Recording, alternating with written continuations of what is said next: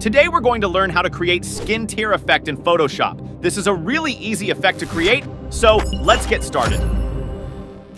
So here is in Photoshop, we have this image to work with. If you want to follow along with this tutorial, I'll leave a link of this image down below. Now the first this we're going to do is duplicate our image layer two times. So with our image layer selected, we'll press Command or Control J twice. So I'm going to call this top one to face and the bottom layer to background.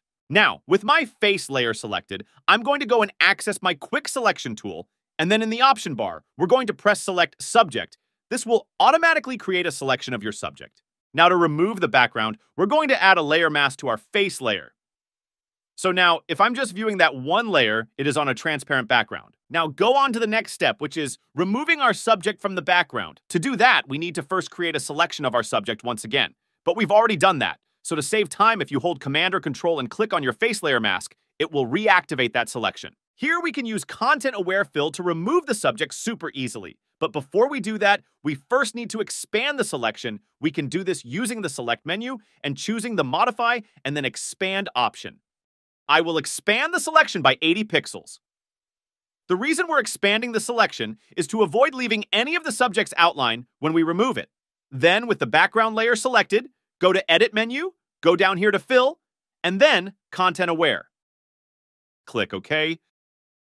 This is a good starting point, but there is a problem in the background. To fix that, I'll use the Patch tool. Make a selection around the area that we don't want, and then click and drag and find a new area. And I will repeat this process for other areas as well. All you need to do is click and drag for a new source. Now we have everything ready, we can move on to the next main step and create our skin tear effect. Select the face layer. Let's drag this panel a little bit more. Now right-click on the selected layer mask thumbnail and choose Apply Layer Mask. Now we are going to cut off this face from the center. So I'm going to use Rectangular Marquee tool to do that. Make a selection of the face that we want the skin tear effect on. Then press the Delete key. Press Command D or Control D to deselect. Next, we will need to duplicate this layer by pressing Command or Control J. This top layer is going to be our front skin tear, and this bottom layer is going to be our back skin tear. Let's hide this bottom layer temporarily and focus on the top layer we will work on. So with that top layer selected, go to Filter menu and down to Liquify. Make sure that this top Liquify brush is selected, and we're just going to click and drag down. Something like this. Maybe this one comes down a bit more, so we'll make it feel as random as possible. You don't need to be precise here, just click and drag. Same process for the bottom area as well. You just have to click and drag to up. Something like this is looking pretty good. Then, we'll click OK. So here is our front face skin tear effect applied.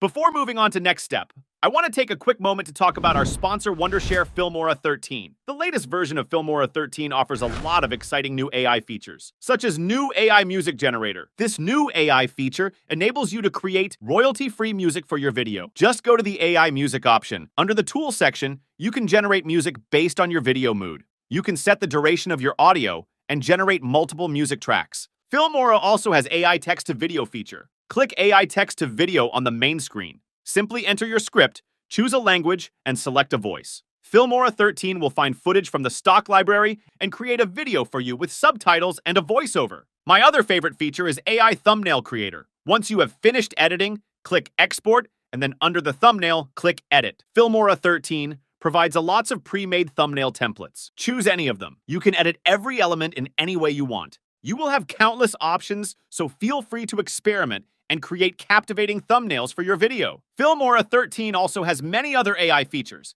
so download it today and expand your creativity. Now it's time to work with the backside of the face. I'm going to hide the front face layer for now and enable the back face layer. Now, repeat the same process on the backside as well. Go to Filter menu and then Liquify. Similarly, just repeat the same Liquify process. Make sure not to make exactly the same as the front face layer. Try to make it more random, so it won't overlap with front face skin. Looks good, click OK. Now, turn on the front face layer and then select the back face layer. Let's give it a dark shade so we can give the illusion that it is behind the front face. Let's darken this layer with a level adjustment. Add a clipping mask by clicking this icon right here, and now it will only affect our back face layer bringing down that white output level until the back face looks nice and dark enough. Something like this Let's add roughness to the edges. So first, I'm going to hover over my layer icon and press Command or Control and click to make a selection in the shape of the layer.